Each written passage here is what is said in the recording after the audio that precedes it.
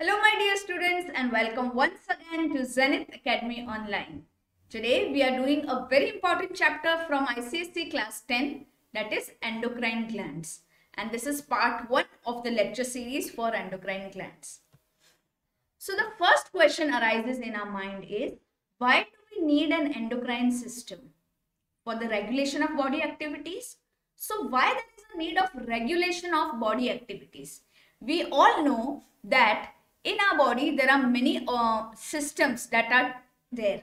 This is a respiratory system this is a skeletal system muscular system. You can see this is a digestive system circulatory system nervous system.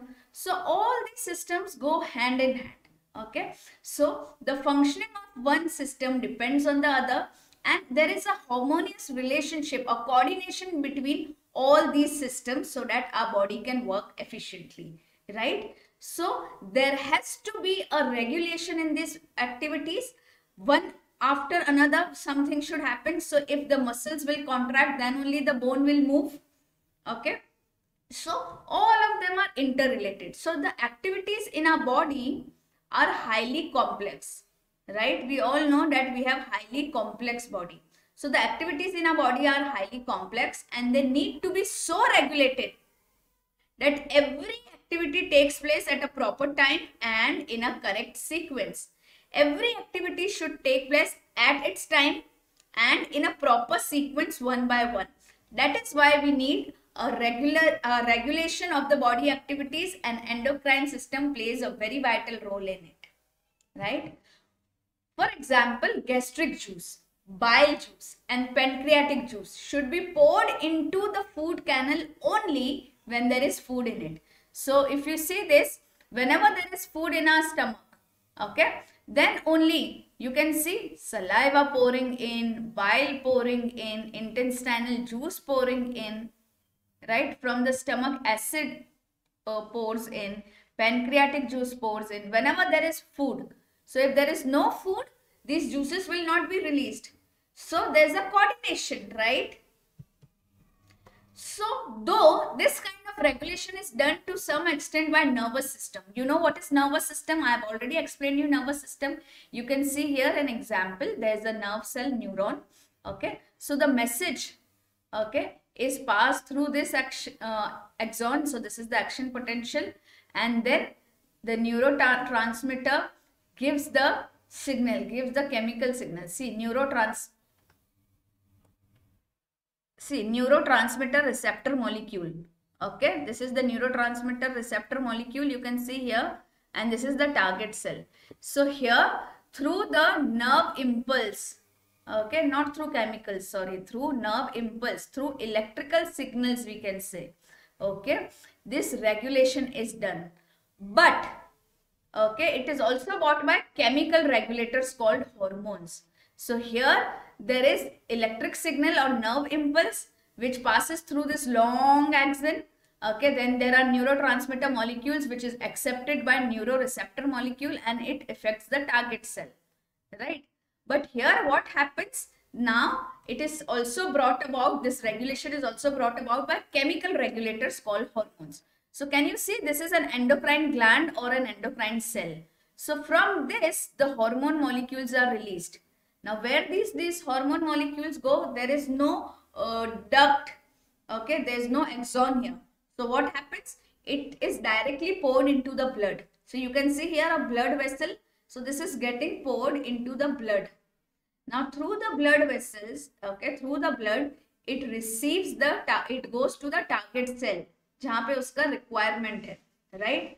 And here is the hormone receptor molecule on the target cell and these hormones are received here right? So the regulation is brought about by two. First is through nervous system through nerve impulses and second is by chemical regulators called hormones where horma means to stir up to excite or to put into action so now let's talk about what is the difference between this neural control and hormonal control. So neural control, its action is always and always quick. There's a quick action. There are long axons in our body, long nerve fibers in our body. So whenever there is a, uh, whenever we are talking about a neural control, the action is very quick. Okay, the message passes through an electrical signal. So it passes very quickly and to the brain it takes the message and again from the brain it takes to the target organ very quickly. Right? Hormonal control. Now hormonal control at times may be quick also. But most of the times it is slow acting. So it may be quick acting or slow acting. Now, in neural control, the information is transmitted as electrochemical nerve impulse. Remember, information is transmitted in the neural control as electrochemical nerve, nerve impulses. Whereas in hormonal control, the information is transmitted as chemical messengers called hormones. So here the nerve impulse that are electrical in nature, electrochemical nerve impulse uh, takes the messages and here the hormones take the messages and they are known as chemical messengers. Okay. Now in neural control, the impulse transmission occurs through nerve fibers. We saw in the diagram, the transmission is happening through the nerve fibers. Okay. Through the long axons it is traveling. Now here the hormonal transmission occurs through blood. We showed you the diagram. The hormones were directly uh, poured into blood. In the neural control, the information would be towards a specific direction, the effector organ or the central nervous system. Therefore, it affects only the particular muscles or the glands and we can say its effect is local. Okay, what do you mean by this?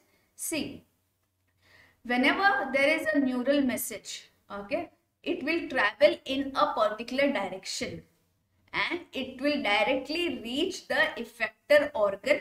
Either it will reach the effector organ directly, the messages from the brain will reach to the effector organ if we have touched something hot and then we will uh, release our hand. Or the information, when you touch something, the information from this skin goes to the central nervous system.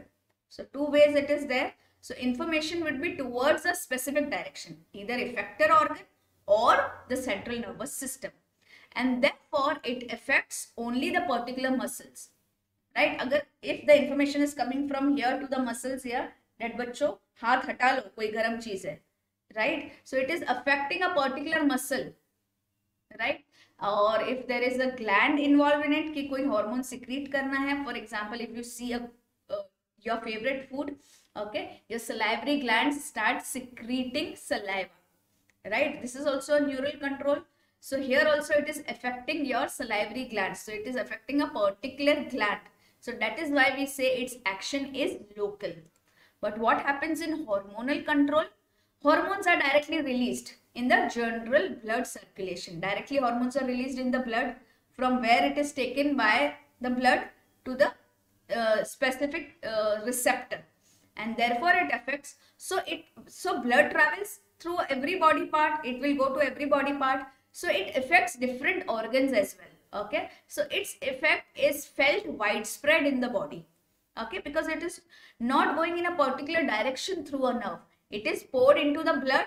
So blood is taken to uh, it goes to every body part. So every body part is affected. Every organ is affected. But what happens? Receptor is at the target organ only. So though the effect has been felt widespread in the body, but target organs takes up maximum of that hormones. Okay. Now in neural control, it is suitable for quick reactions like reflexes as I gave you the example of reflexes just now. Okay, it is suitable for quick reactions. But in hormonal control, it is suitable for long-term changes such as the maintenance of pregnancy. Pregnancy happens for a period of 36 weeks or you can say for a period of 9 months. So for the 9 months, the same hormones make long-term changes in your body. Okay. The effect is short time. Okay. In neural control, the effect is short time and this is a long-lasting effect. Now, in neural control, neural control cannot affect growth whereas hormonal control can affect growth. When we talk about growth hormones and other hormones in the upcoming lectures, you will understand that due to hormones, due to over secretion of maybe a hormone, uh, there is a disease called gigantism. Due to uh, less secretion dwarfism. So it affects growth of our body, whereas neural control does not affect growth. Now, neural control does not influence chemical changes and hence it cannot regulate the metabolism. We know here there are no chemicals involved. Here there is only electrochemical nerve impulse that is going. Okay. So it is not influencing any chemical change in our body and therefore the metabolism of our body is not affected. It is not been influenced by neutral control, neural control. Whereas in hormonal control, it can bring about specific chemical changes and it regulates our metabolism. Now, in neural control, this can be modified to some extent by learning from the previous experience. Now, if we know, okay, the smell of certain food or if we know that this is our favorite food, so our saliva will start secreting, right? If we know that this object is hot, we will from the previous experience we know it is hot. So we will not touch it. So neural control is modified to some extent by learning from the previous experience. Whereas hormone hormonal control cannot be modified by learning from previous experience. I hope you have understood this. So let us talk about hormones in detail now hormones what are hormones hormones are secretions kahan se secrete hote hain Hormones are secretions from specific cells or glands and then they are carried to all the parts of the blood but okay they are carried to all the parts by blood but their effect is produced in one or more specific parts that is target organs or cells only okay? So now you see this is the secreting cell. Okay? It can be a specific cell or a gland. Okay? It is secreted by this. Can you see this green colored hormones? Now these hormones enter the bloodstream. It is entering the bloodstream. Now the blood takes it to each and every organ. Okay? But not everywhere it is released. Now here you can see a target cell. Now target cell has this type of a shape. Okay these are called receptor organs so a particular hormone will fit into a particular receptor organ of a particular target cell only, right? So if it fits into this, okay, you can see here it is fitting into this. It is going here and fitting into this, right? So hormones are secreted from specific cells or glands. They are poured into the bloodstream. They are taken to different parts by blood but their effect is produced in one or more specific parts known as target organs or target cells only right? Because different target organs different target cells have different receptors which are specific for a particular hormone like a lock and key system isn't it? A particular lock gets opened only by a particular key. In the same way there are different receptors for different hormones. So that is why it acts at a specific part or specific target organ only. The effect is produced only there. Now, why are hormones called chemical messengers? This is a very common question that is asked. कि hormones को chemical messenger क्यों कहा जाता है? The hormones are carried to all the parts of the body through blood circulation to bring about the harmonious working of the body.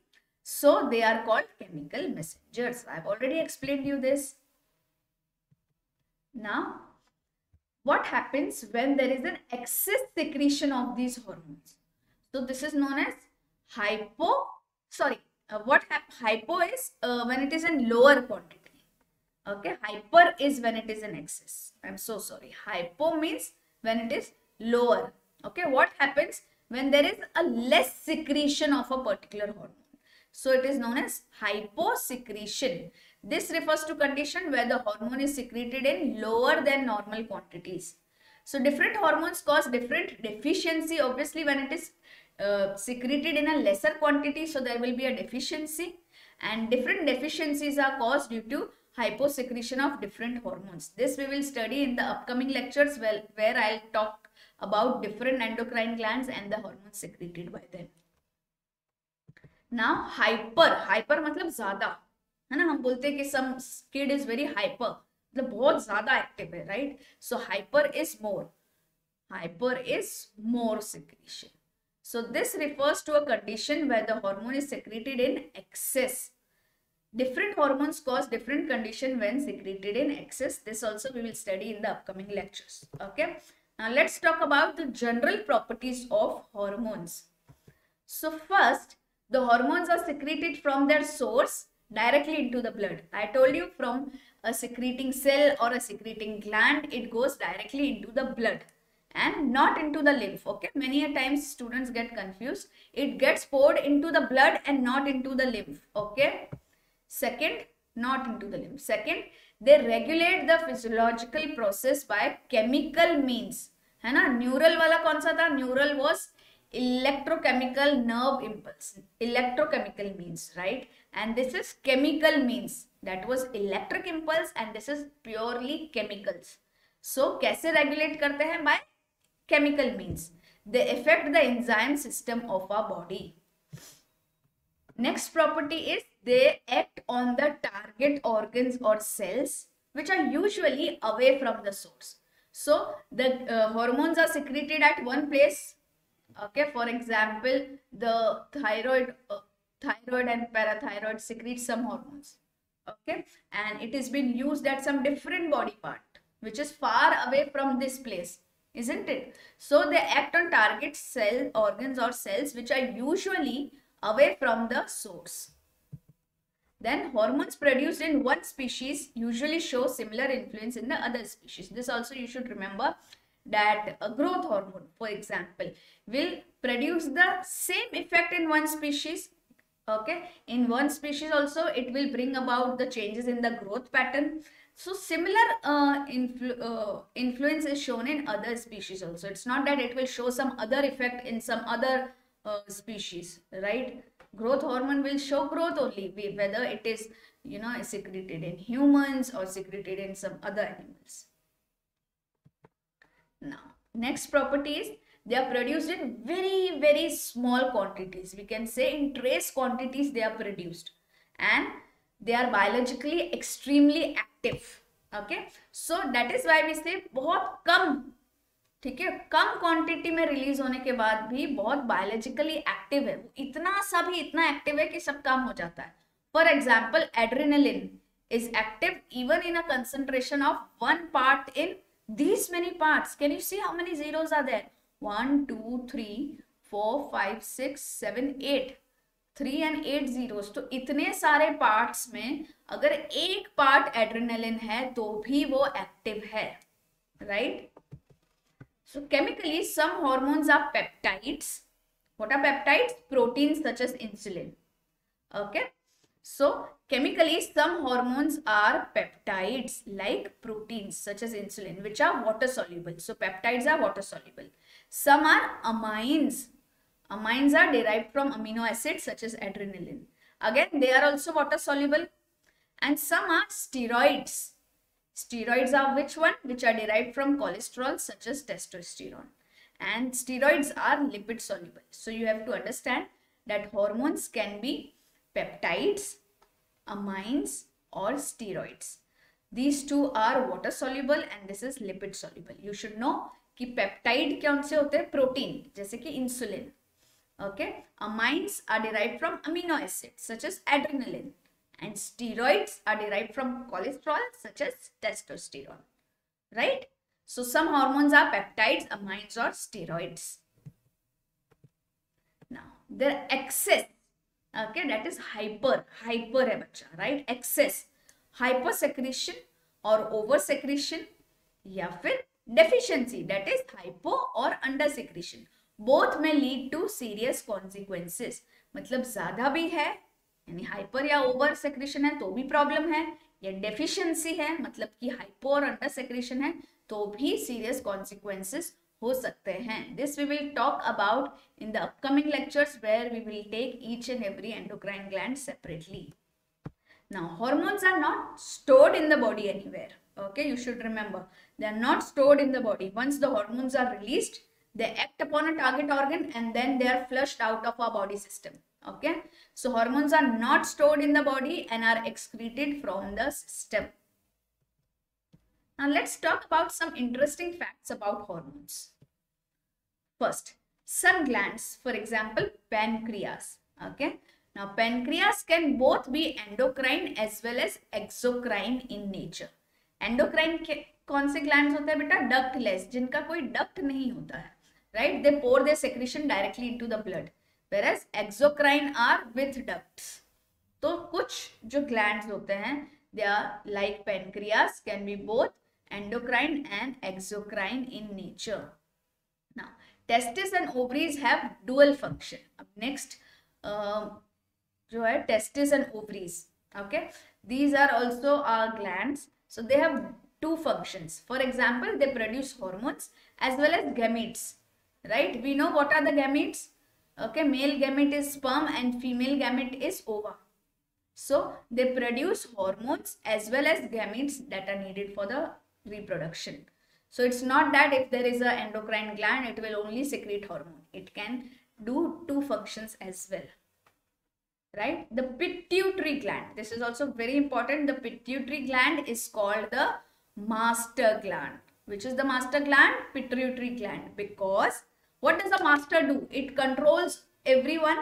Okay, it controls all the people working under him. So in the same way, pituitary gland produces secretions. They secrete some, uh, they produce some secretions and these secretions control the action of other glands. Right? So that is why pituitary gland is called master gland because it secretes, it produces secretions to control the actions of other glands. And last but not the least, certain hormones are also produced from such glands. This is such. ऐसे gland से produce होते हैं और ऐसे body part से which otherwise have a different primary function for example, stomach and duodenum. Stomach has a different has a function of uh, collecting food.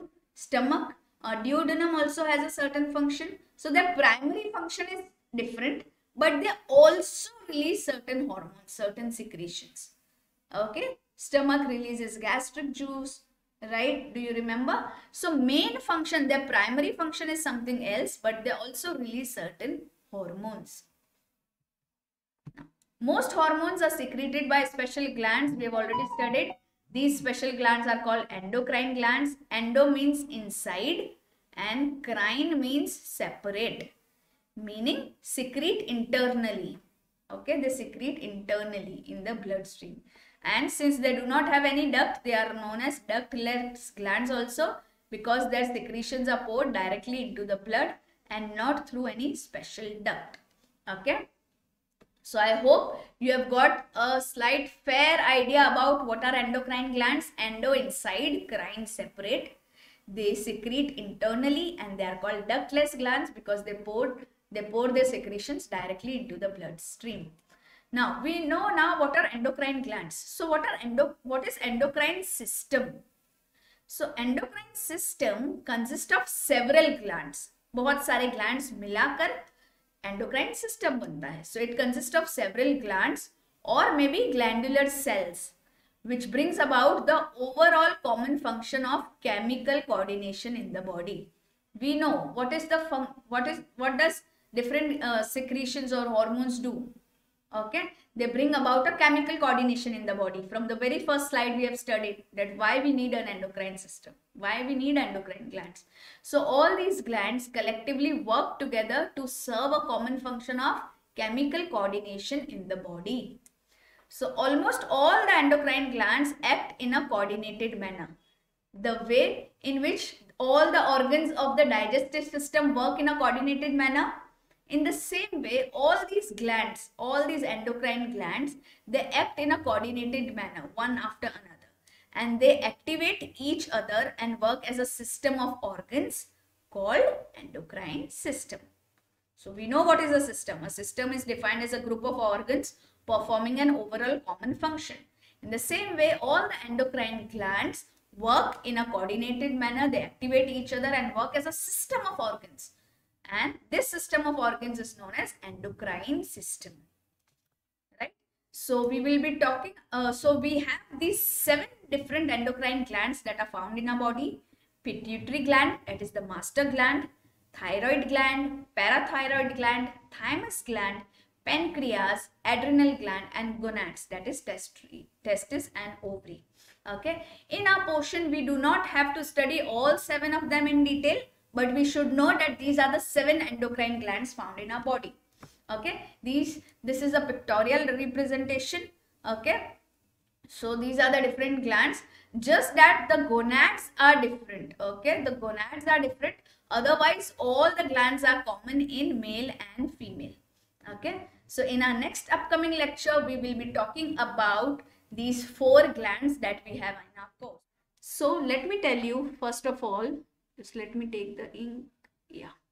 So adrenal glands are found on the top of each kidney. Can you see here? These are the two kidneys and adrenal glands. These are the two adrenal glands found on the top. So adrenal glands are found on the top of each kidney. Even the name adrenal, okay, directly refers to their location. How location? Because in Latin, ad means near and reins is always we know kidneys. So it is near kidneys. So adrenal is on the top of the kidney, near kidneys. So these glands are also known as suprarenal glands. Please note this, the other name of gland is suprarenal glands. In Latin, supra means above and renis means kidney, right? So this is another name for adrenal glands. Now if you see the diagram very carefully children, both the glands do not look exactly the same.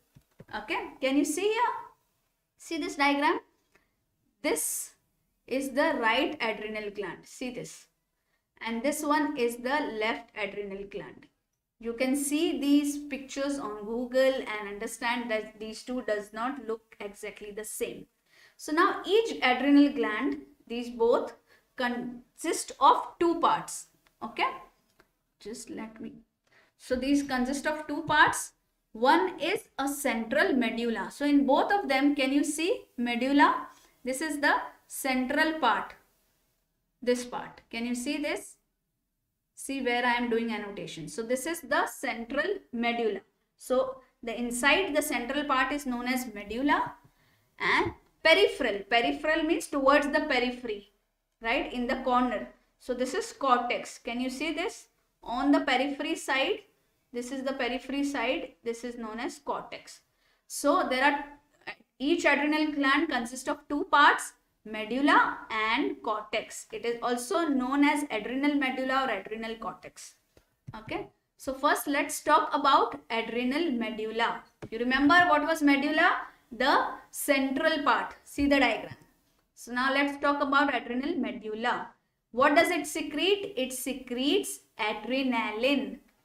Okay, also called, called as epinephrine and noradrenaline. Actually, they are slightly different from adrenaline.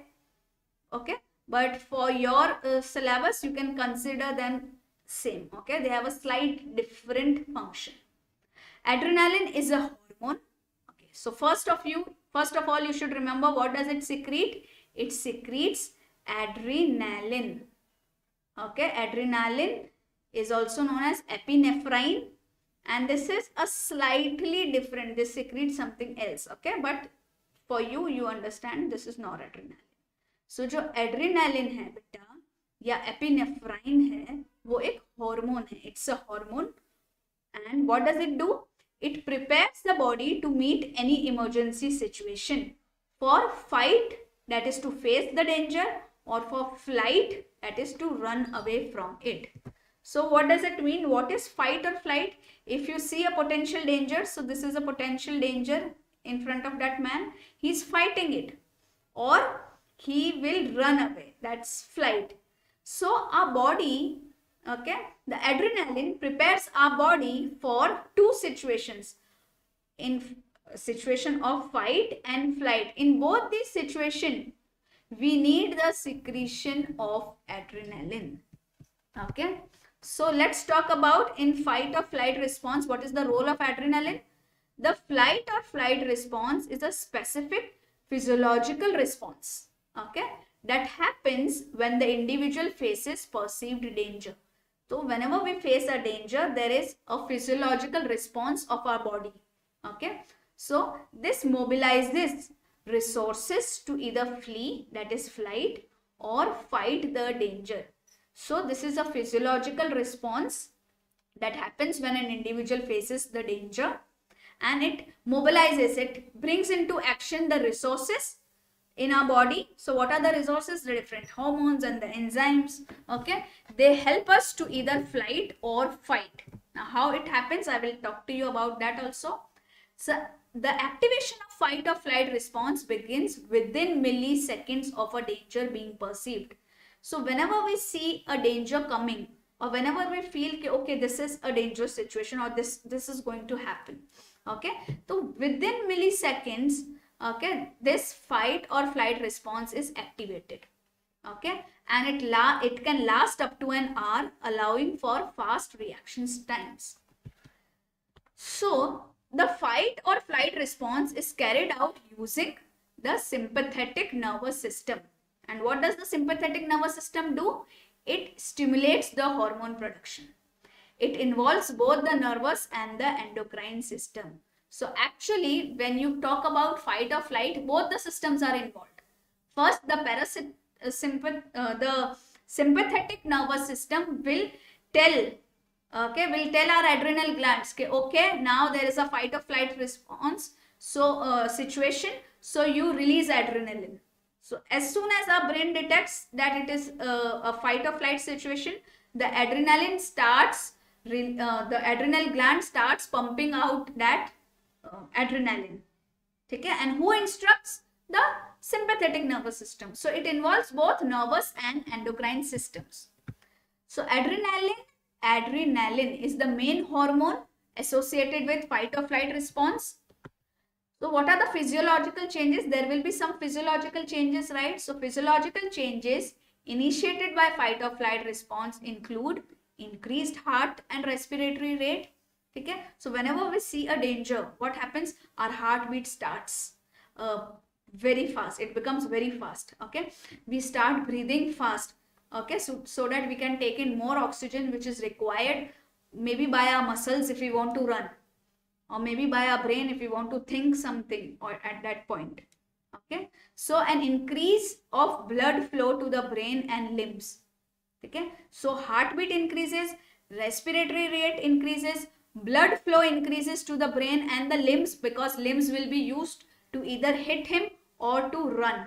Okay increased sweating and trembling muscles all these are the physical changes that we see in our body during this fight or flight response now how does it work the fight or flight response is a chain of physiological events in the body that happens in response to a stimulus that is perceived as dangerous अगर कोई ऐसा stimulus है जो कि हमें लग रहा है कि डेंजरस है we are perceiving it as dangerous then there is a chain of physiological events happening in our body so your senses send a signal to the brain.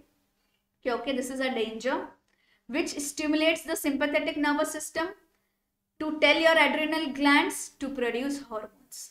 Understood? So your sense will signal to the brain that okay there is a danger. The the sympathetic nervous system tell your adrenal glands to produce the hormones and which in turn affect multiple organs throughout the body. I hope now you have understood this so let's talk about different responses to adrenaline what happens so first let's talk about the body part heart what happens to the heart when adrenaline is released okay so what is the effect of adrenaline the heart beats faster and the blood pressure increases. What is the biological advantage? क्या होगा अगर heart pump कर रहा है faster and blood pressure is increasing? It sends more glucose and oxygen to the muscles because now the muscles need the energy to run, right? Or even to fight. The muscles will need energy. So if the heart will beat faster, the blood pressure will increase. So the heart is able to send more glucose and oxygen to the muscles. And what is the effect उससे अपनी body पे क्या effect दिखेगा आपको we will experience a thumping heart okay so this happens when uh, this is the response to adrenaline of heart now what happens to the breathing center of the brain okay so the breathing it becomes faster and deeper okay the brain starts breathing faster and deeper what is the biological advantage increased oxygenation of blood and rapid removal of carbon dioxide. And this causes painting हम जो half जाते हैं ना दौड़ते दौड़ते अगर हम हमारे पीछे कुत्ता पड़ गया है तो हमारा breathing centre of the brain faster and deeper हो जाएगा, ज़्यादा ऑक्सीजन मिलेगा हमारे ब्लड को, हम तुरंत तुरंत कार्बन डाइऑक्साइड निकालते जाएँगे और जब हम ये कर रहे हैं फास्टर और डीपर ब्रीदिंग ले रहे हैं कार्बन डाइऑक्साइड रैपिडली रिमूव कर रहे हैं तो हमारी साँसें फूल जाती है। That is known as panting so that is the effect we feel next is arterioles of the skin हमारी स्किन देखो अक्सर जब हम किसी से लड़ाई कर रहे होते हैं एग्रेशन में होते हैं या हम डर जाते हैं तो हमारी स्किन जो होती है, ठीक है, एकदम पेल हो जाती है, ठीक है, पीले पड़ जाते हैं हम, डर के मारे, कभी देखा है फाइट और फ़्लाइट रिस्पॉन्स में पीले पड़ जाना दैट इज़ पेल हो जाना। So arterioles of the skin पे हमारा क्या इफ़ेक्ट आता है? द एड्रेनालिन कंस्ट्रिक्ट्स देम उसको कंस्ट्रिक्ट कर देती है। So if it constricts them less blood is going to the skin means more is available to the muscle and the person turns pale i hope you are able to read this because i think मैं शायद बीच में आ रही हूँ तो I am just going away I want you to read this और click the pictures मैं यहाँ heart से फिर से दिखा रही हूँ आपको देखो हार्ट का देख लो पिक्चर क्लिक कर लो eight breathing centre of the brain देख लो and then this is skin okay the person turns pale now what happens to the digestive system okay what happens to the arterioles of the digestive system adrenaline constrict the arterioles of the digestive system क्योंकि now the at the time of flight or fight क्या आप खाना पचाने बैठोगे क्या आप खाने को डाइजेस्ट करना is important no right it is not important so less blood for the digestive system Allows more to reach the muscles. Now, the body is sending less blood to the digestive system and allowing more to reach the muscles because muscles need the oxygenated blood right now. और उसकी वजह से क्या effect होगा we will have a dry mouth now see what happens to the muscles of the body adrenaline tenses them उसको tense बना देती है उसको कड़क बना देती है and that is why they are ready for immediate action ये उसका बायोलॉजिकल एडवांटेज है and what is the sensation, tense feeling or shivering? Okay. What happens to the liver? Liver क्या जब एड्रेनालिन रिलीज़ होता है तो liver convert more of glycogen to glucose क्योंकि अभी हमें एनर्जी की ज़रूरत है। So more of glycogen converts into glucose and hence glucose is available in blood for energy production and we don't feel any sensation in this case liver में जो भी हो रहा है, उससे हमारे बॉडी को फिजियोलॉजिकल सेंसेशन नहीं दिखता है कुछ भी right now next is what happens to the fat deposit let me come back here I hope I am visible now so conversion of fat into fatty acids because we need fatty acid in the blood क्योंकि fatty acid से ही muscle contract होते हैं बेटा। So what happens to the fat deposit हमारी body में जो fat deposit है, अगर एड्रेनिल रिलीज़ हुआ तो वो फैट क्या करेगा? फैटी एसिड में कन्वर्ट हो जाएगा. And this what is the advantage that this fatty acid is now available in the blood for muscle contraction and we don't have any sensation here ठीक है बच्चों? Is it is everything clear now in addition in addition to all these function that we read just now in fight of flight adrenaline also increases the clotting capacity of the blood it dilates the pupil of the eye okay eye की जो pupil है उसको dilate कर देता है it stimulates stimulates uterine contractions during labor so during childbirth what does it do it stimulates the uterine contraction अपना जो uterus होता है उसको contract करने के लिए stimulate करता है it also stimulates muscle of the hair follicles okay so please नहीं है यहाँ पे. So these function are in general the same as though autonomic nervous system जब हमने नर्वस सिस्टम पढ़ा था, तब मैंने आपको बताया था. ठीक है? ऑटोनॉमिक नर्वस सिस्टम का जो सिंपथेटिक है, उसके भी सेम फ़ंक्शन थे. Right so the main function is in fight of light case so let's talk about now function of adrenaline most of them we have already done so adrenaline is also termed as an emergency hormone you all know now why it is known as emergency hormone right i had already shown you the picture so first is it increases the heartbeat accompanied by increase in blood pressure. Next is it increases blood supply to the muscles because muscles will require more energy now. So it increases the blood supply to the muscles while decreasing it to the skin and visceral organs, the main organs. Just digestive system, circulatory system, uh, sorry, digestive system, skeletal system, your respiratory system. वहाँ सब organs में ना डाल के skin में ना डाल के वो mainly supply कर रहा है muscles में. Right? Now, more glucose is released into the blood by the liver अभी हमने बताया the glycogen converts into the glucose so more glucose is release into the blood by the liver like putting more fuel into the engine so when we want to run we will put more fuel in the engine in the same way what does liver do with the effect of adrenaline it produces more glucose in the blood okay in case of emergency so remember the final dash to win a race is under the influence of adrenaline so if you have, if you remember when we say there is an adrenaline rush in me, this is a probe, this is a phrase that we use in English. So in the end, when you run, just there is, you can see the finishing line and you want to run for the last stretch. So the last stretch energy comes only with the, with the, under the influence of adrenaline. Okay. Now, so we have, done medulla. Now let's talk about adrenal cortex. Now, what does adrenal cortex secrete?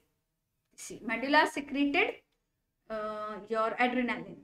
It secretes many hormones, but the best known hormone is cortisol. We will not be studying about all the other hormones. We will be studying about cortisol only.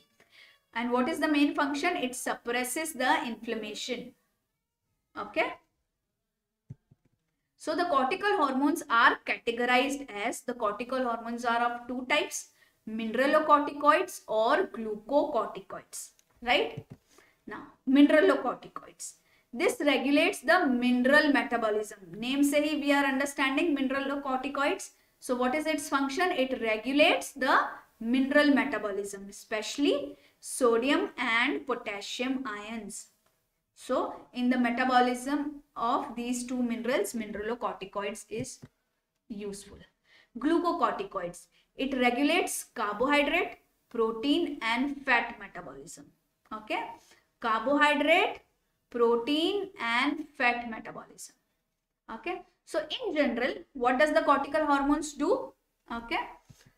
It increases the blood glucose concentration it influences the fat and protein metabolism and it regulates the salt and water balance in the body. So the, these are the general functions of cortical. And if you are asked about mineralocorticoids, you can say mineralocorticoids is for sodium and potassium ions metabolism and glucocorticoids is for carbohydrate, protein and fat. But in general, the cortical hormones are increasing the blood glucose concentration, influence fat and protein metabolism and regulate salt and water balance in the body. So this is salt and water balance is by brought about by sodium and potassium balance only. Correct? Now, glucocorticoids adapt the body to stress such as extreme heat or cold, burns, infections, etc. So, glucocorticoid help to adapt the body to such stress कि बहुत extreme heat है या cold है या burn हो गया या infection हो गए हैं सो glucocorticoids help our body to adapt to these changes or these stress then certain cortical hormones behave like sex hormones as well okay they behave like sex hormones. They are both male as male as well as female hormones in both sexes. And overgrowth of cortex in young children okay leads to premature sexual maturity. You know that uh, some children uh, become mature really fast okay? So that is because of the overgrowth of cortex in them okay? It it brings about premature sexual maturity.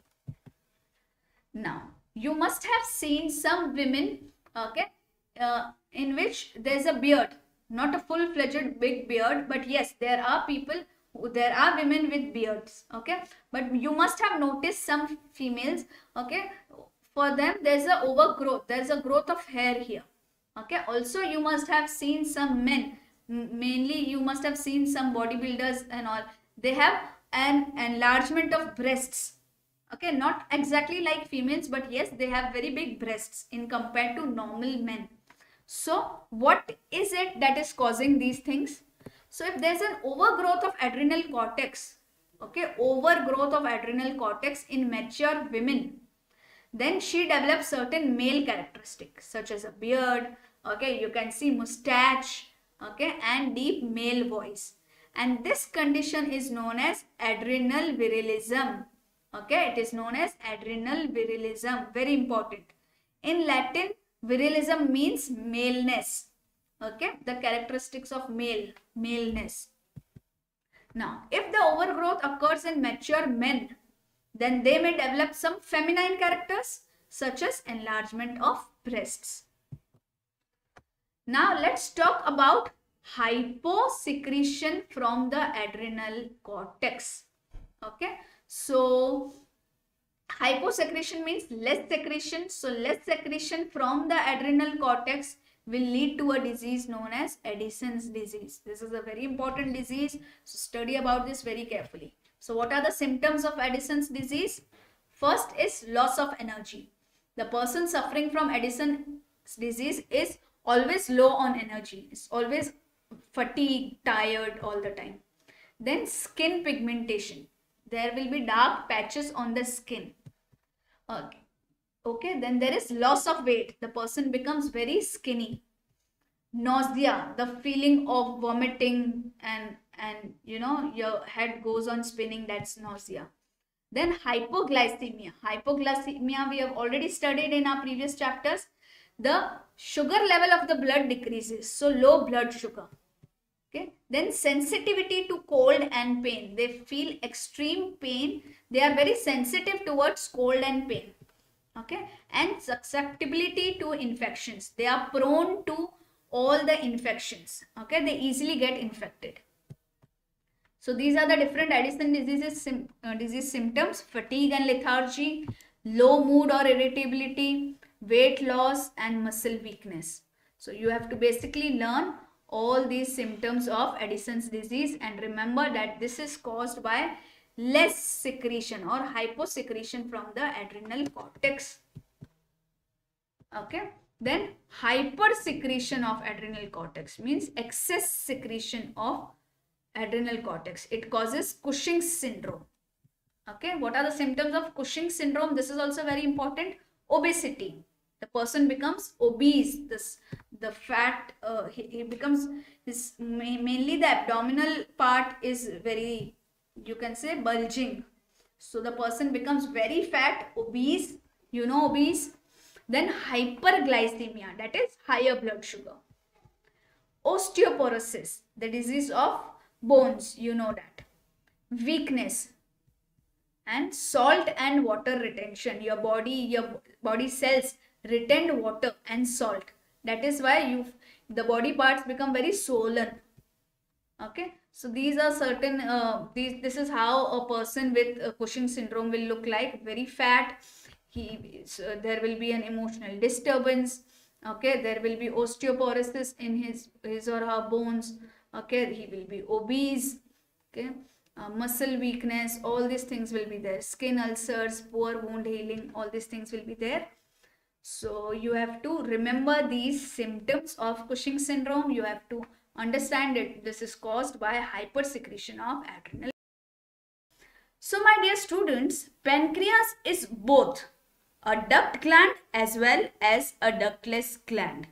Okay, it is a duct gland as well as a ductless gland.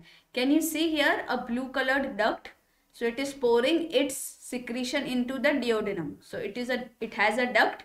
Whereas can you see this yellow yellow departments these small small departments? These are called islets of langerhans okay? And they are a ductless gland. So let's talk about it.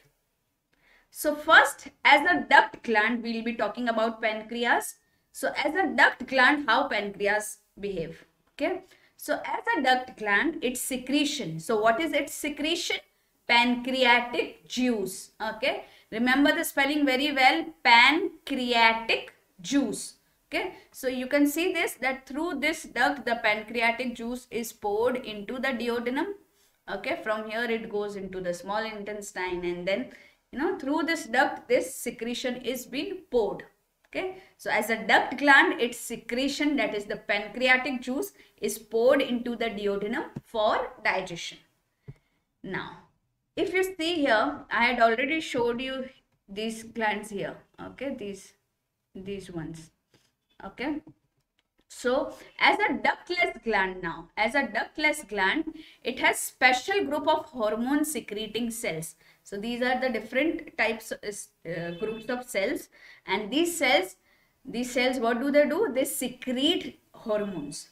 Okay, and these group of hormone secreting cells are called islets of Langerhans which are scattered in in the entire gland where islets means little islands it shows like little little islands are there, right? So as a ductless gland, it has special group of hormone secreting cells and these hormone secreting cells are known as islets of Langerhans. Now see here, this is a detailed picture of uh, your pancreas. Okay, so here this you can see the, the hole. Okay, so this is the duct. This is the duct from where pancreatic juice is poured, right? Now, if you see this in middle, wait, let me take the highlight uh, pointer. Okay. If you take this, see this. This is, these are a special group of hormone secreting cells. Can you see this light blue? This is beta cell. Okay. So, this beta cell secrete insulin. Okay. It secretes insulin. Now, can you see this dark blue type of cells? These are alpha cells and alpha cells secrete glucagon. Okay. And then there are these purplish color delta cells and these delta cells secrete somatostatin. Now, somatostatin is not in our portion, my dear children. So, remember the pancreas have a group of okay uh, uh, hormone releasing or hormone secreting cells. Okay. So the islet produce three hormones. What are these three hormones? The three hormones are insulin, glucagon and somatostatin. Somatostatin, sorry. And this is released from three different kinds of cells called beta, alpha and delta cells. Remember, beta cells secrete insulin, alpha cells secrete glucagon and your delta cell secretes somatostatin. Clear to you? We will not study about somatostatin, but we will study about insulin and glucagon in detail. So let's start. First, we will talk about insulin. So remember, insulin is secreted by beta cells. Okay. It checks the rise of sugar level in the blood. It doesn't allow that the sugar level should increase in the blood. So whenever there is an increase in the sugar level, insulin is secreted. So it checks the rise of sugar level in the blood. And how it does? It does that in two principal ways. What is the first way? It promotes glucose. Glucose is nothing but sugar. Hai na bacho? Glucose means sugar. Okay. So it promotes the glucose or the sugar utilization by the body cells. What it does? It tells the body cells to absorb more and more of glucose and use it. Okay. Second, it stimulates the deposition of extra glucose of the blood as glycogen in the liver and the muscles.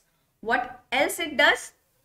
Okay. So whatever extra glucose is there in the blood, okay, it stimulates its deposition as glycogen. Okay. So it helps in conversion of okay it doesn't convert it helps in conversion of extra glucose as glycogen and then store it or deposit it in the liver and in the muscles i hope this is clear now let's talk about abnormalities in insulin what happens when there is a shortage or excess of insulin so first let's talk about shortage of insulin that is insufficient secretion of insulin so insufficient secretion of insulin leads to diabetes mellitus. You have to remember the spellings very well. Diabetes mellitus. Its other name is hyperglycemia. Okay. So insufficient secretion of insulin causes diabetes which is more accurately diabetes mellitus. Okay, diabetes are also many types. So which type of diabetes? Here the sugar level increases. So this type of a diabetes is known as diabetes mellitus or hyperglycemia. Okay, the word mellitus means honey. So it is it refers to the passage of sugar that is more sugar or glucose in the urine. Okay, now so what happens to a diabetic person? What are the symptoms of a diabetic person and what does he suffer from? So a diabetic person has high concentration of sugar. We already know. Okay. We are talking about insufficient secretion of insulin. So if insulin is less, okay, and insulin checks the blood sugar level, right? तो अगर insulin कम secrete हुआ है तो blood में sugar का level बढ़ जाएगा right so a diabetic person has high concentration of sugar in the blood okay? Which and this condition is known as hyperglycemia. We already studied. Hyper means excess zada glycemia means sugar or glucose and emia refers to blood. So hyperglycemia means excess sugar in the blood. Now it excretes a great deal of urine loaded with sugar. So as we studied just now here okay? It refers to the passage of sugar in the urine. So the urine also contains a lot of sugar. So excretes a great deal of urine loaded with sugar. Next is the person feels very thirsty because of the loss of water through too much urination. Next the diabetic person loses weight and becomes weaker and weaker now, in certain cases, children, the person loses eyesight or vision. Here, the usual treatment by administering insulin is not a cure. So, mostly you must have seen that a diabetic person carries insulin injections with them. Okay. So, uh, we administer insulin in the body of the diabetic person whenever the sugar level rises. But this is not a cure. It is only a method of supplying a hormone which is not being produced by the pancreas. So pancreas is insufficiently producing the insulin. Very less amount of insulin is produced and that is why diabetes mellitus happens, right? So when we are giving the, when we are administrating insulin into the body of a person who is diabetic, we are not actually curing it. What we are doing it, we are supplying the hormone which is not being able, not which the pancreas is not being able to supply in good quantities. Correct? Now, what happens when there is an over secretion of insulin? So, obviously when there is a over secretion of insulin, the sugar level will go down. It is lowered. This, this condition is known as hypoglycemia. Hypo means below.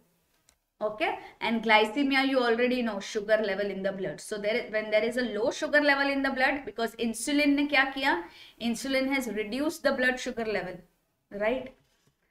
So what may happen brain में enter a state of comma comma में चला जाता है इंसान and if the level becomes too low even for a few minutes okay so the person may uh, the brain of the person may enter a state of coma if the level becomes too low even for a few minutes okay so please note this down my dear children a similar thing may happen to a diabetic patient if an overdose of, of insulin is given so this is naturally when there is an over secretion of insulin, it leads to glycemia.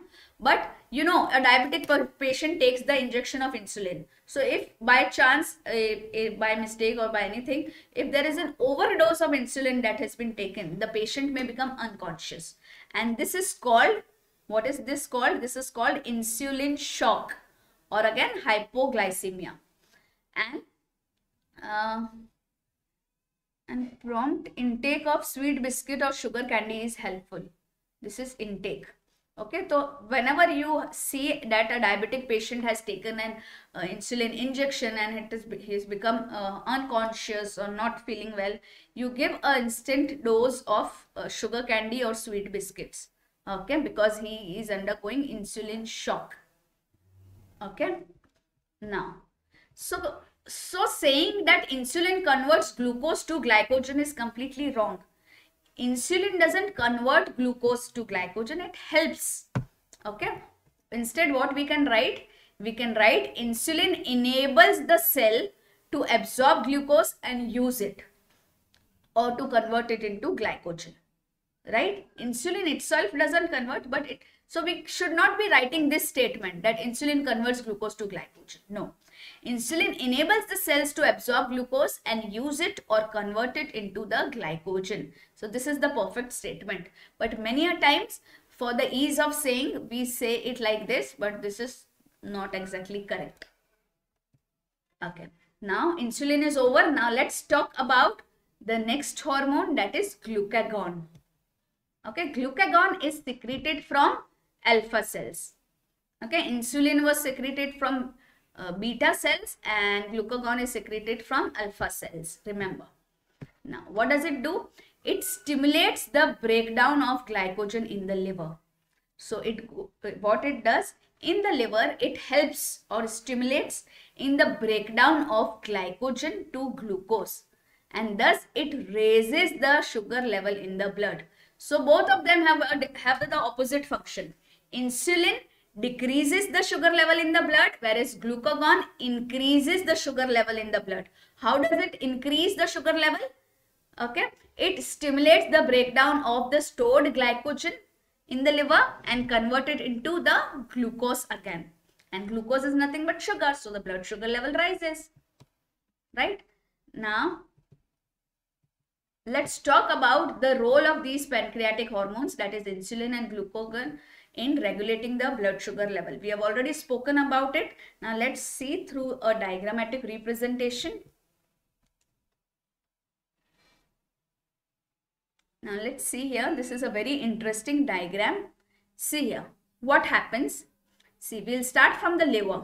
We know in the liver, glycogen okay, is converted into glucose correct so when glycogen gets converted into glucose okay so the liver releases glucose.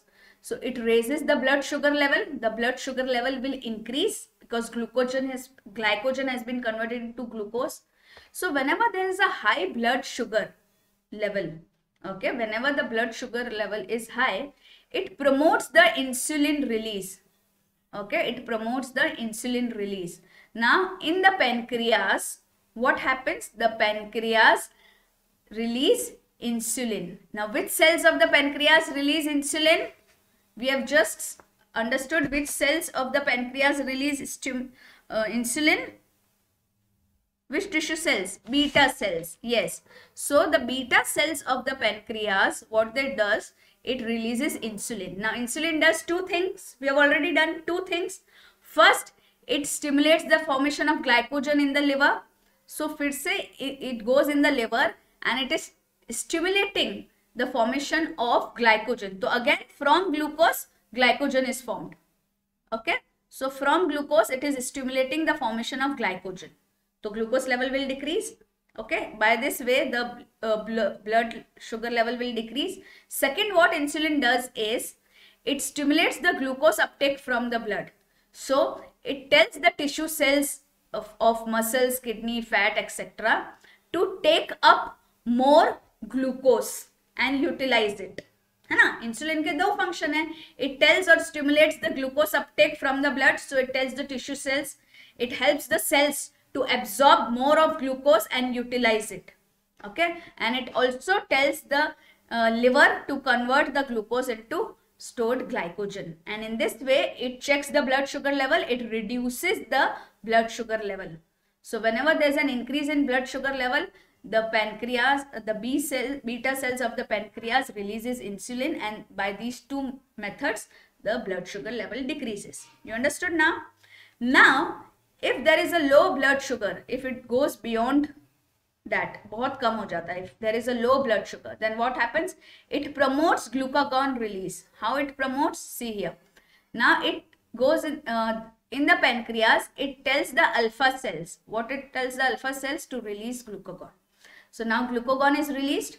Now what does this glucagon do? It stimulates the breakdown of glycogen. So again glycogen breaks down and forms glucose. Again this glucose goes in the blood and again raises the blood sugar level.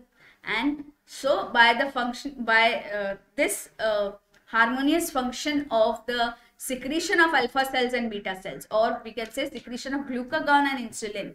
This helps in maintaining the blood sugar level. I hope you have understood this very well. Now, just we will recap the hormones of the islet cells. Okay, we just now said that the alpha cells, okay, we just now spoke about these two, but I want to talk about somatostatin also. It is not in the portion, but a small thing I want to say. See, alpha cells release glucagon and glucagon stimulates the liver to release glucose and hence what is the effect on blood glucose level? It increases. The blood glucose level increases by glucagon. Now the beta cells of the islet cells release insulin. It increases the glucose uptake chiefly by muscles and fat cells. So if the uh, muscles and fat cells are taking the glucose, so the glucose level will decrease, right? Now the delta cells releases somatostatin. Now somatostatin we don't have to study. It is not there in the syllabus but just understand it works. It has a dual function.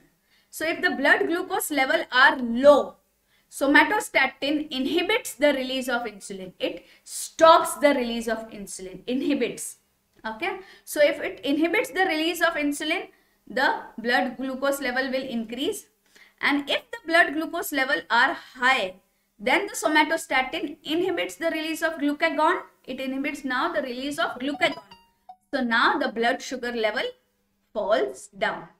So this is a small introduction of somatostatin. So you should be knowing that somatostatin also helps in the same balance. Okay. Now, so let's quickly revise the hormones of islets of Langerhans. So insulin released from beta cells it promotes glucose uptake by body cells and it stimulates deposition of extra glucose as glycogen in liver and muscles. And what does the deficiency of this causes? Deficiency causes diabetes mellitus, which is called sugar diabetes. And the excess causes nerve cell starvation. We just now studied coma mein chale jate hai, right? And brain coma, right? Now, insulin is done. Let's talk about glucagon. It is released from alpha cells. It stimulates liver to convert glycogen into glucose.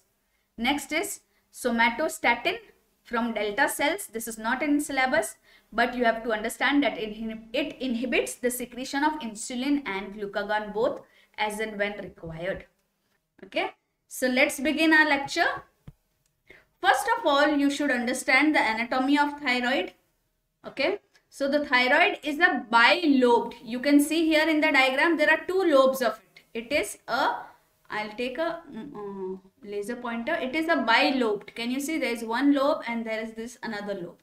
So thyroid is a bilobed butterfly shaped structure. Can you see this looks something like a butterfly.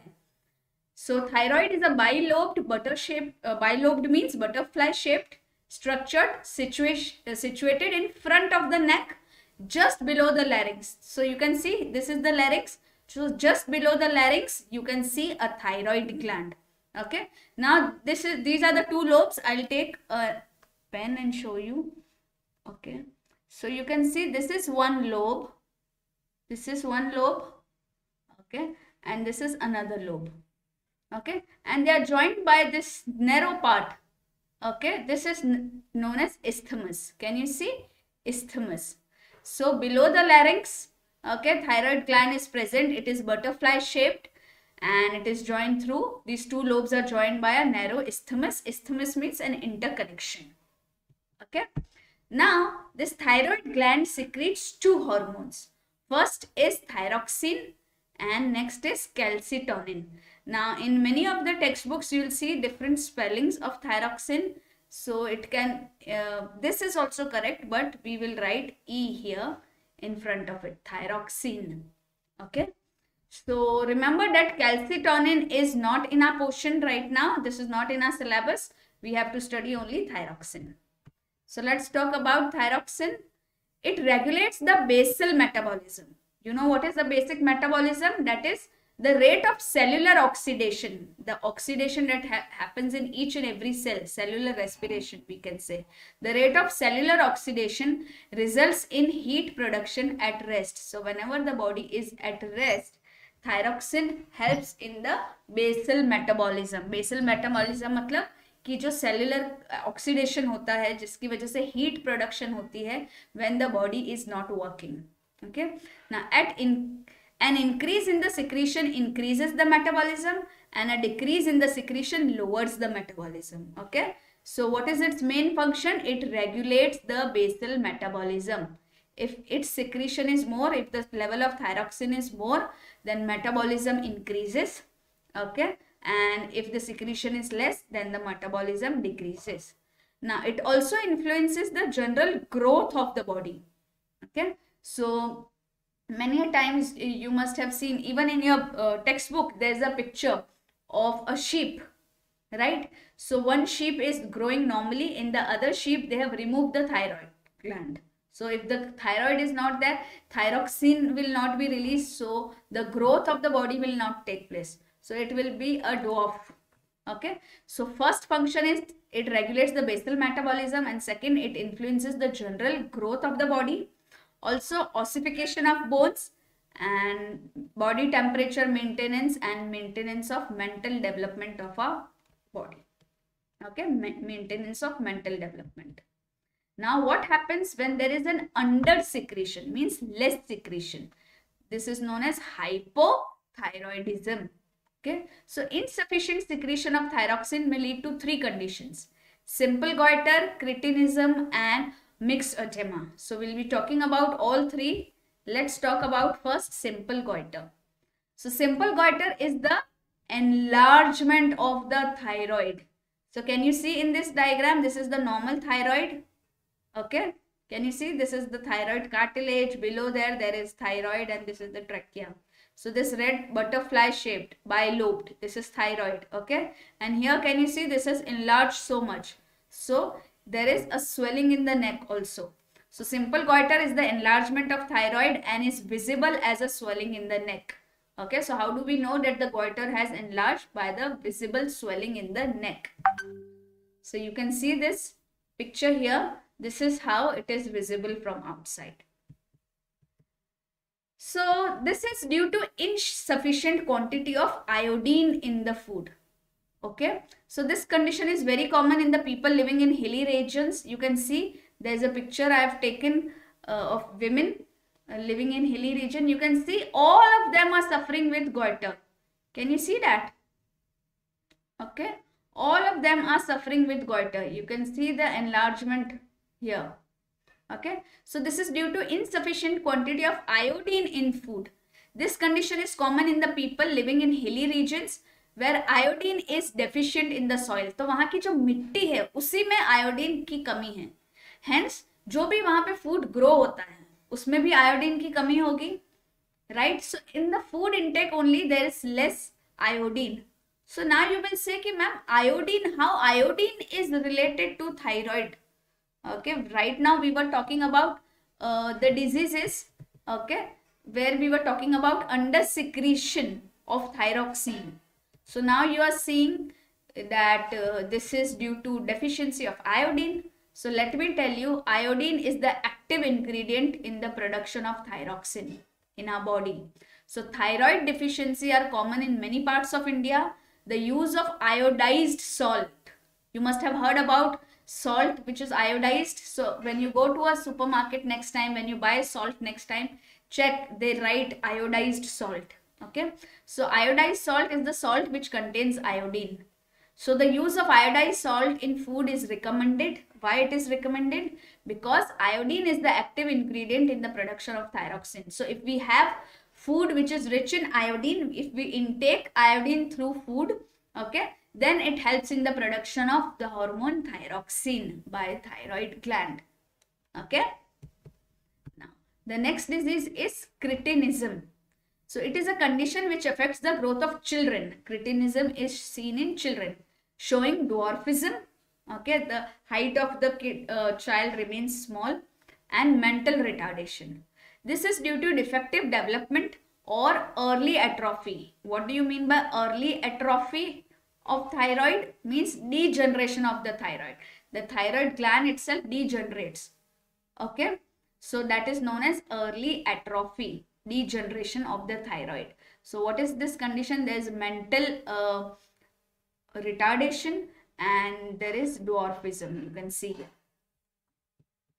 Now next is myxoedema it is a condition that affects an adult if his thyroid does not function properly.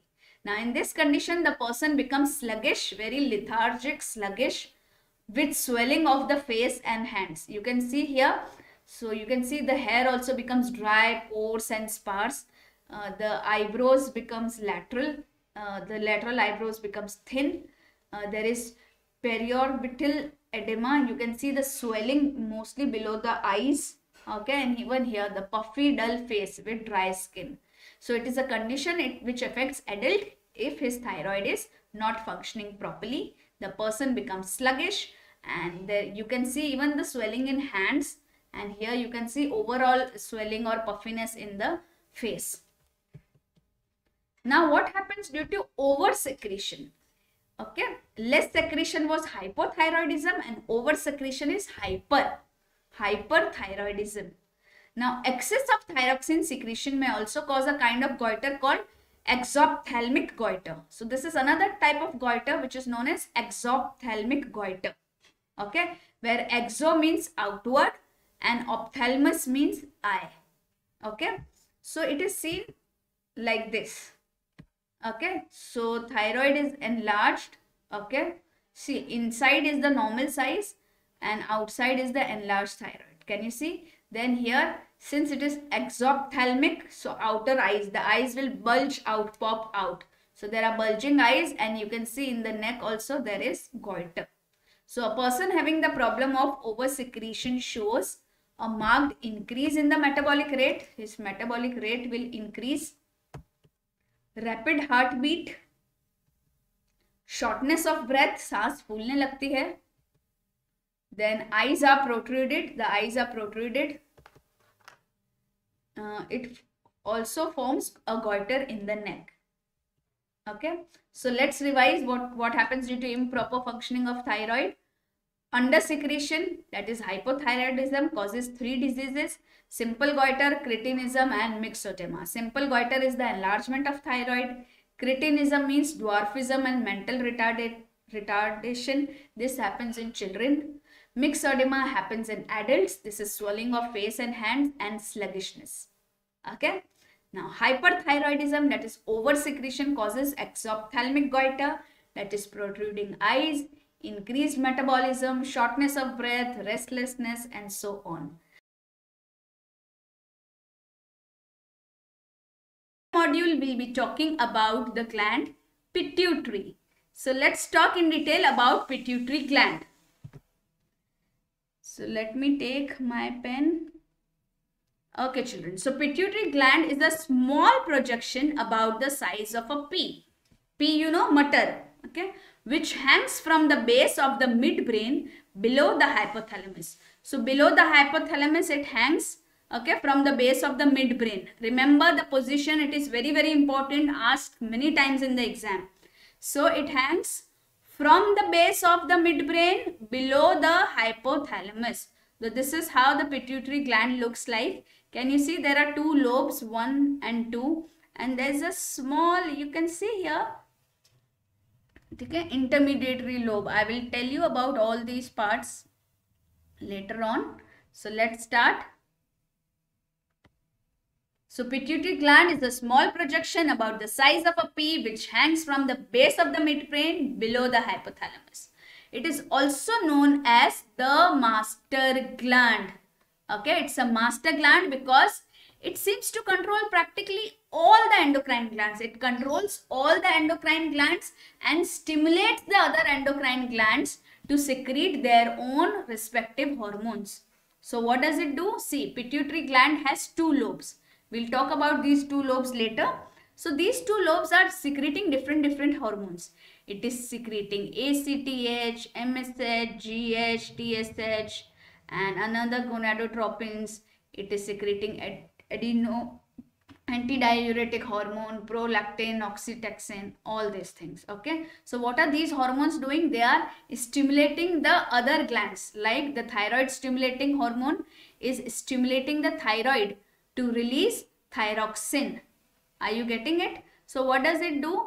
So the pituitary gland re releases some hormones and these hormones in turn tell the other endocrine glands to release or stimulate the other endocrine glands to release their own respective hormones as and when required. Okay, that is why it is known as master gland. It is very small but is practically controlling all the other glands.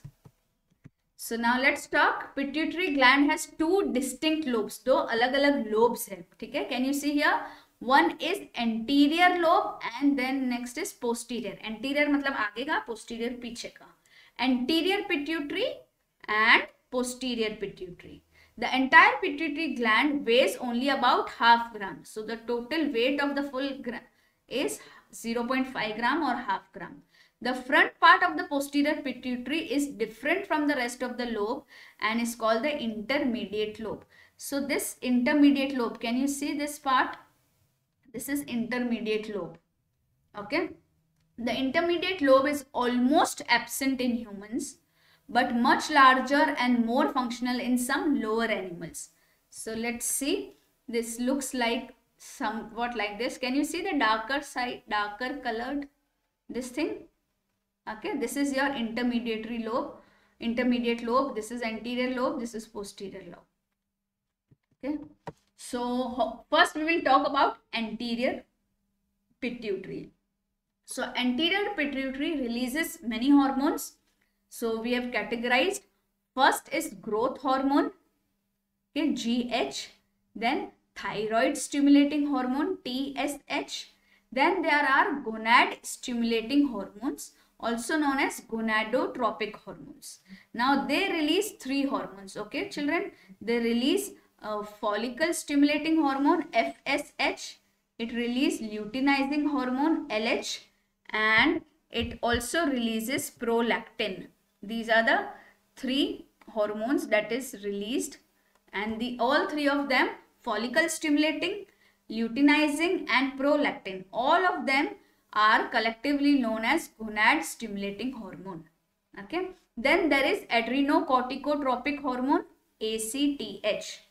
Okay, these are the four broad categories of hormones released by anterior pituitary. Let's talk about each of them in detail. First of all, we will talk about growth hormone. So anterior pituitary is releasing growth hormone. It is releasing thyroid stimulating, adrenocorticotropic, then these all three are your gonadotropic hormones okay luteinizing hormone follicle stimulating hormone and prolactin. We'll talk about all of them. First let's talk about growth growth hormone. So it is essential for the normal growth of our body. It is also known as somatotropin. It is very important to know the other names also. Very very important for one mark questions. Somatotropin. Okay where somatic means body and tropic means stimulating okay so it, it stimulates our body so that our body can grow normally. Okay so here is the growth hormone. You can see it acts on bones muscles and organs. So now the deficiency of growth hormone in childhood. Deficiency of growth hormone in childhood results in dwarfism. Okay so in dwarfism what happens? The adult do not fully the adult, adult do not fully develop okay and retains the body proportions of a child. So when we grow big sorry when we age okay so when we are aging our organs and our body parts are not growing as an adult. It retains the proportion of a child and we remain like a dwarf when there is a deficiency of growth hormone in childhood. Did you get it? Now, if there is an over secretion in childhood, then this results in gigantism. Okay. So, the long bone length grows beyond the normal and the giant and the human giants यहाँ पे giants आएगा okay and human giants up to 2.7 meters in height are produced so they produce giants so both of them, okay, the deficiency of growth hormone and the over secretion, when this happens in childhood, we have these two abnormalities. One is dwarfism. When there is a deficiency of growth hormone, there is then it is dwarfism. The adult do not fully develop and retains the body proportion of a child. Okay, it remains dwarf. He looks like an adult. Okay, the facial expression, face and all looks like an adult. Okay, but the proportions of the body is like of a child. Okay, the long bones, the norm, overall body growth is with, of a child. Then if there is an over secretion it leads to a disease known as gigantism. Okay? Where the long bone lengths are beyond normal. They are the long bone length. Long bones means the long bones hands uh, feet uh, are legs all those long bones. Okay? The femur bones so the long bones length are beyond normal and the human giants up to 2.7 meters are in height are produced then what is acromegaly now, children, please remember if the oversecretion of the growth hormone suddenly occurs in an adult. So, the first two things that we studied, dwarfism and gigantism, was the deficiency of growth hormone and the oversecretion of growth hormone in childhood. Whereas, when you are a fully grown adult and suddenly there is an over secretion of growth hormone, then there is an extra growth of bones okay? Extra growth of bones in the face particularly the jaw. So can you see? The jawline is so big of this man okay? And in hands and feet you will see that these palms and the feet and the overall length of these hands are very large okay and the person develops large nose and thick lips can you see large nose and thick lips of this person so this condition is known as acromegaly where acro is height or extremity and megaly means large. I hope acromegaly is clear to you. This happens when there is an over secretion of growth hormone suddenly in adult. Now let's go about the next hormone. We have studied growth hormone. Now thyroid stimulating hormone. We have already studied the thyroid hormone in uh, the thyroid gland in detail and we know the thyroid uh, the thyroid gland releases thyroxine so what does the, what does our uh, pituitary gland has to do with it okay the pituitary gland releases a hormone known as thyroid stimulating hormone so it stimulates the the thyroid hormone okay so thyroid stimulating hormone jo hota hai tsh it activates our thyroid so that the thyroid can secrete thyroxine okay and this is how thyroid stimulating on the thyroid gland. It stimulates the thyroid gland that, okay, thyroid gland, now you start your functioning. Now you release thyroid hormone. Okay, thyroxine. So we have read about this in detail in the previous class.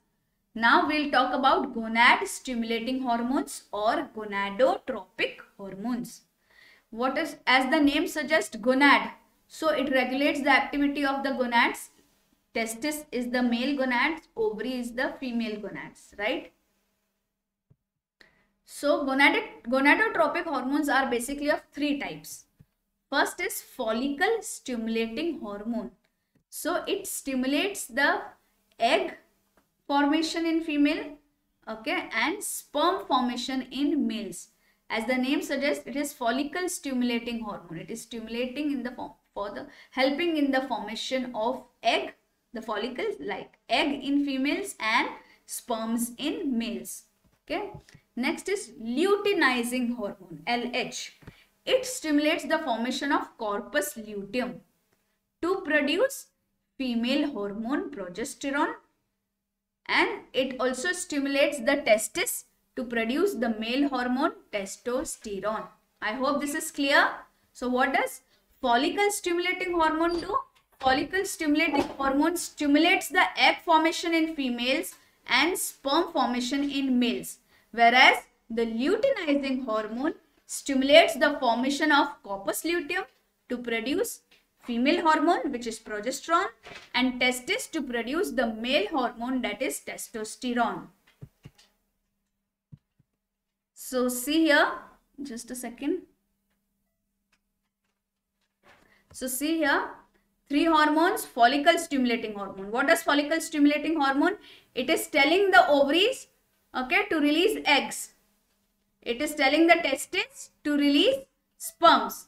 Now, what does luteinizing hormone do? Luteinizing hormone is telling the ovaries to release its hormone, that is estrogen or progesterone. And it is telling the testosterone, it is telling the testes to release the hormone testosterone. Is that clear? Now third is prolactin. Prolactin is helping in release of milk. Okay. So see here prolactin is telling in, is helping in release of milk. So three hormones. I will again repeat. Follicle stimulating hormone, luteinizing hormone and prolactin. Clear?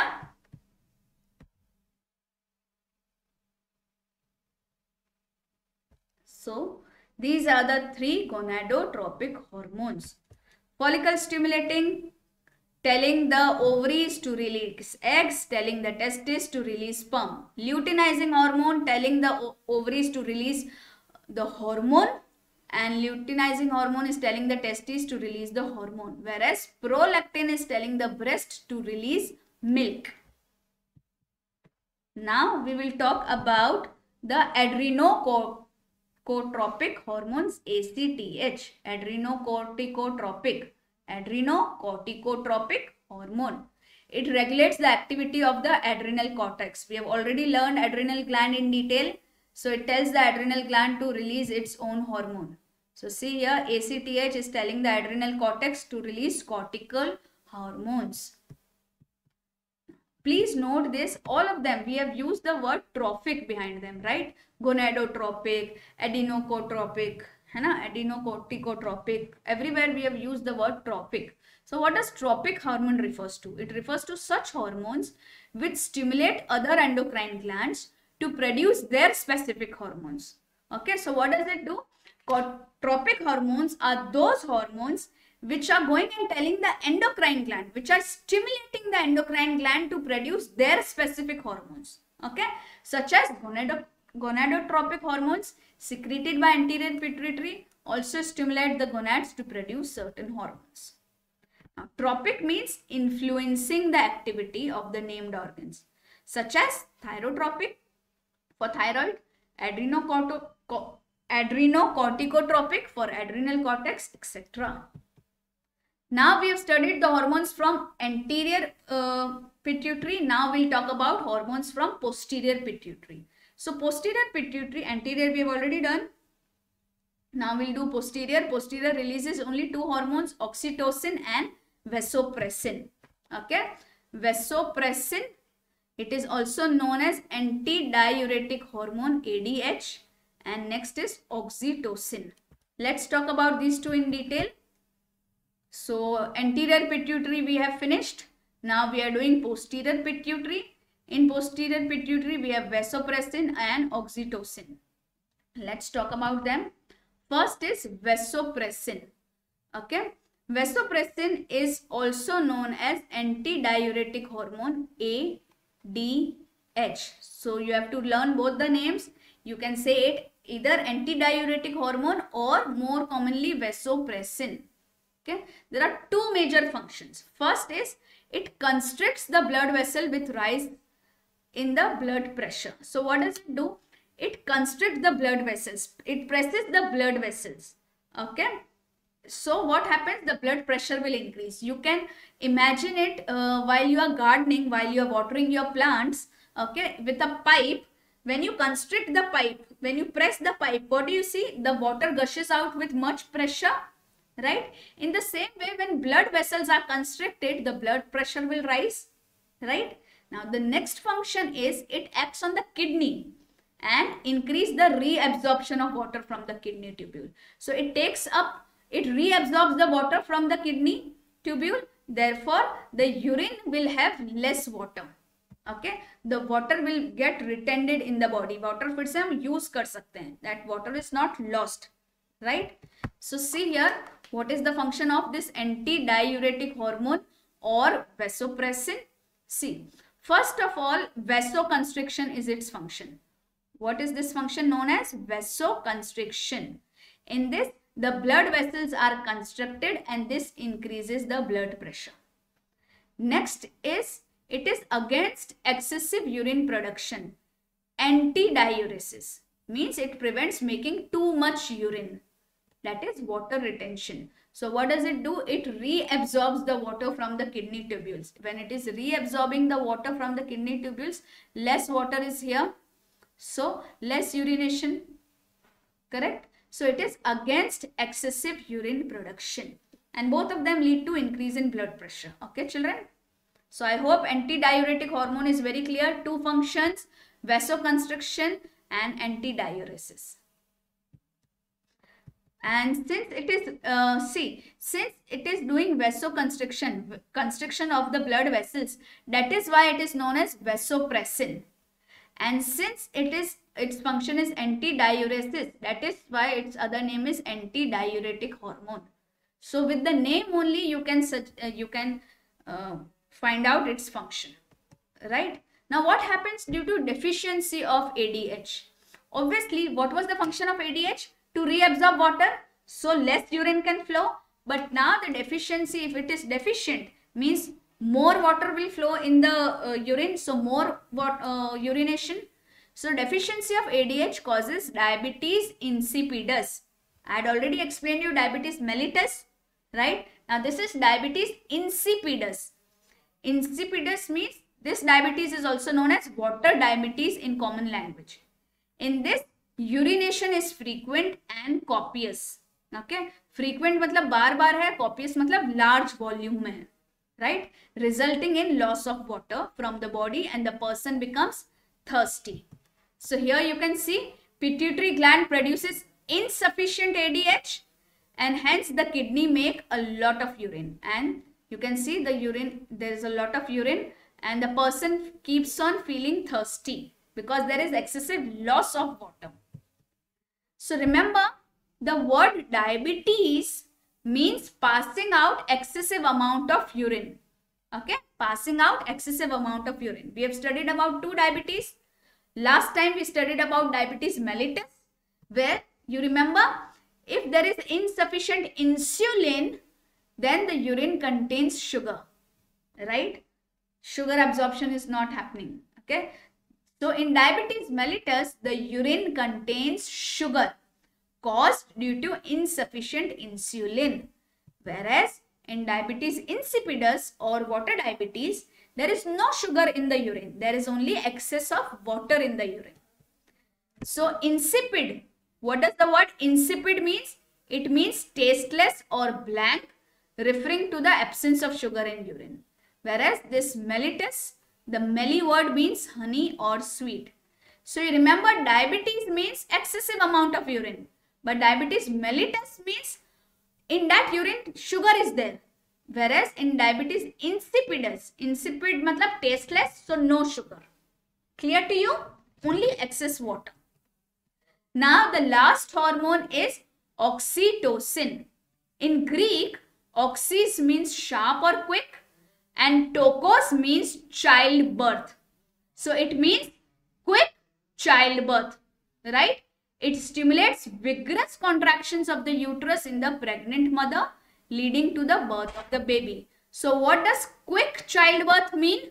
Quick childbirth means, see what happens during labor. What happens when the child is about to be born, baby is about to be born the uterus constricts okay? There are contractions of uterus continuously. And when there are one after one contraction of the uterus the baby is released out very easily. So what does oxytocin do? As the name suggests quick childbirth. It stimulates the vigorous contractions of the uterus in the pregnant mother which leads to the birth of the baby. It also helps in ejection of milk once the baby is out of the womb. So it does two functions. Quick childbirth, okay, that is, uh, it stimulates vigorous contractions of the uterus and after the baby is born, it stimulates the milk ejection from the breasts as well, right? So what happens here? See, the baby's growth takes up all the space in the uterus as the baby is slowly, slowly, slowly growing. Then the stress receptors are activated in the uterus and then the brain signals for the release of oxytocin. As the oxytocin is released, it causes the uterus muscles to contract and when there are one after one contractions of uterus muscles, it leads to and these contractions get stronger until the baby is delivered and hence the baby is delivered with the help of oxytocin. Quick delivery of the baby with the help of oxytocin. So now you know it does two major functions. The posterior pituitary releases oxytocin. So the release of oxytocin helps in contraction of smooth muscles and baby is born, born uh, baby is born and here on the myoepithelial cell it helps it works and it helps in the release of milk so i hope you have understood everything very well i'll just quickly revise. Anterior pituitary releases growth hormone very important for the overall growth. Thyroid stimulating hormone which tells the thyroid to release more thyroid uh, more hormones. Adenocorticotropic hormones which tells the adrenal cortex to release its hormones. Then these all three are your gonadotropic hormones, follicle stimulating, luteinizing hormone and prolactin. Now comes the posterior pituitary. It releases only two hormones, vasopressin which presses the vessels, blood vessels, increases the blood pressure. ADH, antidiuretic hormone which helps in uh, reabsorption of water in the kidney. Oxytocin which helps in the release of milk and which helps in the uterus contractions. And in this video module, we'll be talking about feedback mechanism. This is a very important part of the chapter endocrine glands and many students are mostly confused about feedback mechanism. So let me make it very, very easy for you so that you can score really well. Let's start. So students, we all know that living organisms are able to function flawlessly because of complex life processes that control our body functions. For example, you are able to breathe in and out automatically without realizing. Likewise, your body heats up or cools down depending on the temperature outside. You even know when you are hungry because your body signals its need for nutrition. So all these above functions occur in our body without conscious intervention from you, right? You don't even know without you consciously knowing it. All of this is happening because of a control or regulatory system called feedback mechanism. So feedback systems control the substance that is produced by a life process. A substance in turn controls the function of the life process. So let me explain you what it is. So what is a feedback mechanism? A feedback mechanism is a physiological regulation system in a living body that works to return the body to its normal internal state or commonly known as homeostasis. Okay, so uh, this is a regulation system in our body and it helps uh, it helps our body to return to the normal state okay or it maintains homeostasis now what is negative feedback. But you should understand that most feedback mechanism in our body are of negative type only. Okay. Most feedback mechanism in our body are of this type only. For example, blood sugar level. Let's talk about what it is. See, the body has a mechanism to maintain a normal state. Whenever there is a change in this state, there are messages through the body systems to increase if there is a fall below the normal so whenever there, see, whenever uh, there is something below the normal, okay, so our body, okay, sends a message, okay, it sends a, uh, this feedback mechanism basically sends a message through the body system to increase. If anything is falling below the normal, okay, then the negative feedback system, what does it do? It it tends, okay, whenever there's a change in the state, there are messages through the body systems to increase if there's a fall below the normal or to decrease if there is a rise above the normal. Okay, so this kind of ordering for opposite is called negative feedback to restore the normal state. For example, when our blood sugar level falls down, okay, so the negative feedback system, what does it do? It sends the message to the body system to increase the blood sugar level. Okay. And whenever the blood sugar level is more, it sends a signal to decrease it. This is a, this is ordering for opposite. That is why it is called a negative feedback. See, I will explain you through this chart out here. See, this is blood sugar level. Okay. So blood sugar rises after the meals in our body. Okay. So blood sugar has risen so what does the negative feedback do? It commands to lower the level. How it will do it? How what it will do? So it will command to deposit the extra sugar in the liver. Okay, so the correction is carried out and the normal level is restored. Or now what happens? When the blood sugar level falls down during physical exercise, when you have exercised a lot or when you have fasted. So after that the sugar level falls down so now the negative feedback system want what it wants to do, it wants to increase the blood sugar level. So now it tells the liver to release it. Okay. And the correction is carried out and the normal level is restored. I hope you have understood this very well. We have, we have read this in our previous chapters also where we were talking about this insulin and diabetes and all those things, right? Now let's talk about positive feedback mechanism. Now, in positive feedback mechanism, the original stimulus is promoted rather than negated. This is very important line. In the negative feedback system, what happened? When the blood sugar level was falling down, okay then उसका उल्टा हुआ था। The negative feedback told them to increase the blood sugar level right but here what happens the original stimulus if the if suppose some level is increasing so positive feedback system what does it do it promotes it the increase it promotes so it goes on and on and on on increasing if something is decreasing it promotes in decreasing it right so positive feedback increases the deviation from the ideal normal value so it doesn't allow it to come to the normal value it deviates it from the normal value right so they are very few. You should understand most of the mechanism in our body are negative feedback. Positive feedback system are very few.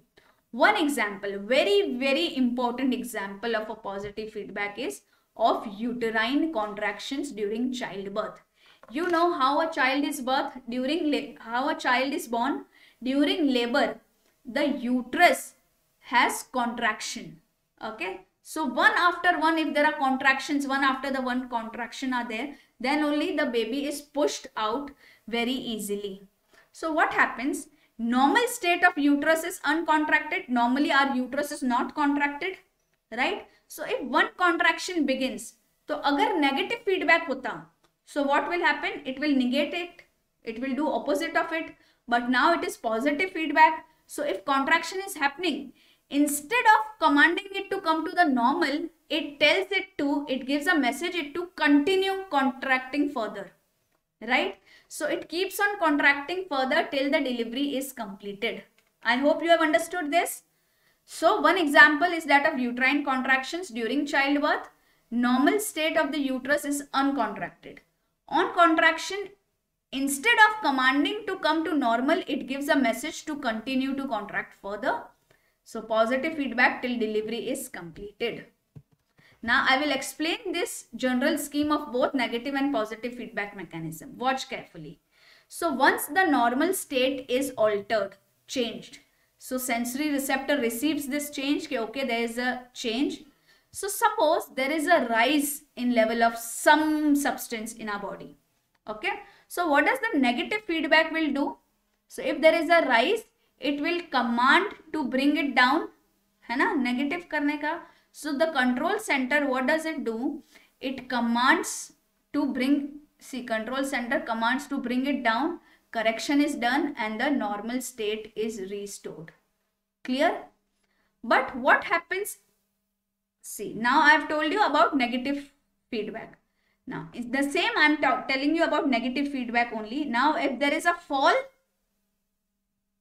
okay if there is a fall in something then the negative feedback says कि okay इसको बढ़ा देना है so negative feedbacks goes to the control center it commands to raise it the correction occurs and the normal state is restored now in both the scenes what happens when there is a positive Okay. So when, now let me change the color. Okay. Now when the normal state is altered, the sensory receptor receives and if there is a rise of some substance, then what does the positive feedback do? It increases it further. The positive continues. So there is an abnormality, right? Normal state is not restored. किसी कोई चीज अगर बढ़ गया है तो positive feedback उसको और बढ़ाती रहती है और फिर वो एबनॉर्मेलिटी में कन्वर्ट हो जाता है। And if something has fallen something has fallen मतलब कम हो गया है कोई सब्सटेंस सो पॉजिटिव फीडबैक उसको और कम करती है। It fall the fall continues and this is also abnormality so you should understand now that with the negative feedback always, whether the substance is increased or decreased, with the negative feedback, you see here through here the normal state is restored the normal state is restored whereas in positive feedback, you get abnormality. If there is a rise, it will continue rising. If there is a fall, it will continue falling. Right? So I hope you have understood the general scheme of both the negative and the positive feedback mechanisms. Both these diagrams are very, very important. This general scheme, okay, and this blood sugar level. Blood sugar level, I think you can do very, very well, but you should understand this as well. And a very important is the example of positive feedback mechanism uterus contractions. So i hope you have understood this concept really well. If you have enjoyed watching this video give it a thumbs up write in the comment section and show us your love and do share it with your friends. Thank you and keep the learning on